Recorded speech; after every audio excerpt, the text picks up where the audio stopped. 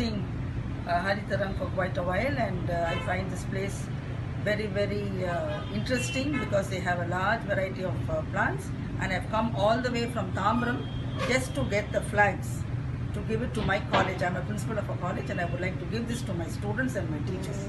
Thank you so much.